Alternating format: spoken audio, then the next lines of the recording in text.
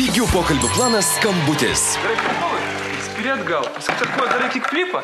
Spiri į priekį, supranti? Na, kaip supratau, iš pradžių stovi ant abiejų kojų, po to vieną koją pakeli, po to ką aš žinau. Abi kojas pakeli.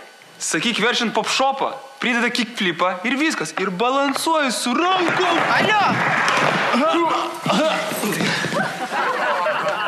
Pasiruošk kalbėti daug ir ilgai, nes pokalbiai tarp pildyk šiuo metu kainuoja tik 1 centą už minutę. Užsisakyk pigių pokalbių planą tik už 5 litus per mėnesį. Siūsk skambutis numeriu 1556. Jokių problemų, kartojam. Kiek flip, pop, šok, viską sujungi ir balansuoji.